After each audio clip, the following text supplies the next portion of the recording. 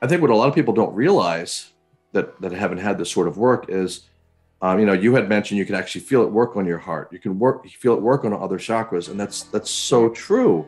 You can Yeah. feel particular frequencies focus on different areas of the body, and you know, a- again, it it's it, for me, it's still jaw dropping every single time, and that's one of the reasons I'm, I'm so passionate about this is because I find it so fascinating I know. fascinating and weird and awesome.